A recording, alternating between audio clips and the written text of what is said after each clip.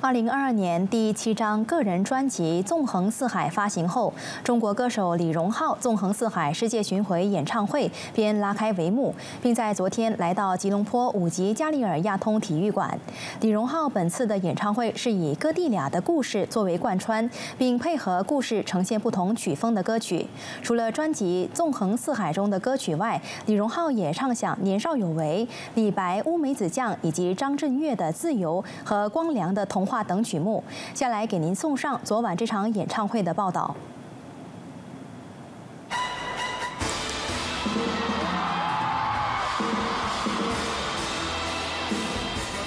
演唱会一开始，李荣浩便穿着红色西装打鼓帅气登场，接着再背吉他接连弹唱三首歌曲，瞬间炒热气氛。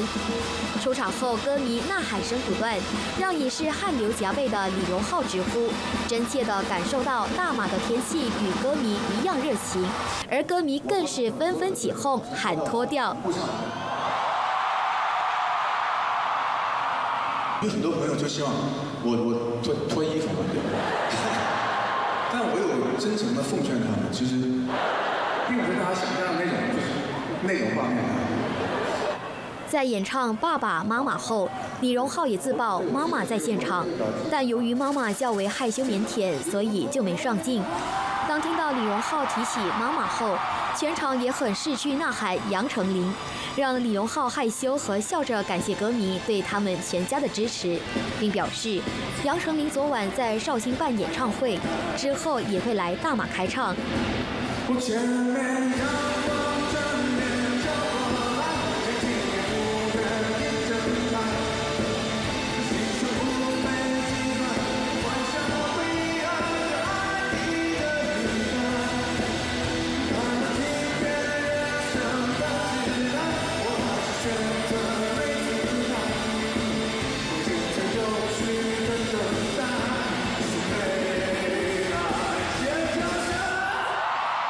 会上，李荣浩除了呈现一首首脍炙人口的歌曲，包括《老伴》《年少有为》、李白、不将就、喜剧之王等等，同时选唱张震岳作曲编曲的《自由》，以及五湖歌手汪良作词作曲的《童话》，引起全场大合唱。然而，一连串的快歌后，李荣浩却表示，唱着《麒麟》，接着就来《童话》，情绪转变太快且太唐突。他表示，难得来马演唱喜欢的大马歌曲，所以决定非常有诚意的再唱一次《童话》，让现场歌迷兴奋不已。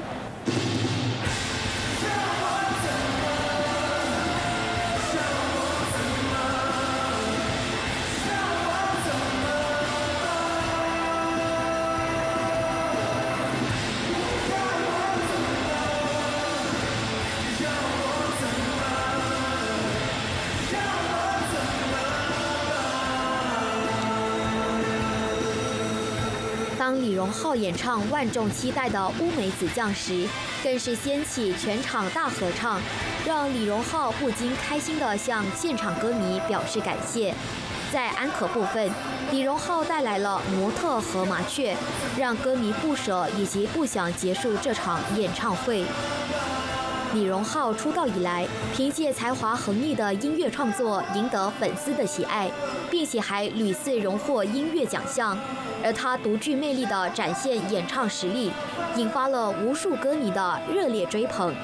RTN 关淑田、黄文柔采访报道。